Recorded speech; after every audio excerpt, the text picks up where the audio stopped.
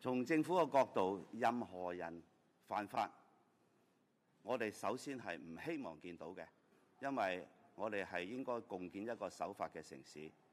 但係我哋亦都要好清晰話俾所有人聽，啊守法嘅重要性。所以如果任何人或者組織，佢係違反咗香港法律，包括香港國安法，執法部門咧必須要依法處置嘅。咁喺呢度咧，我再次向大家好清晰咁講，我哋係一個守法嘅社會，我亦都係好講啊法治嘅重要性。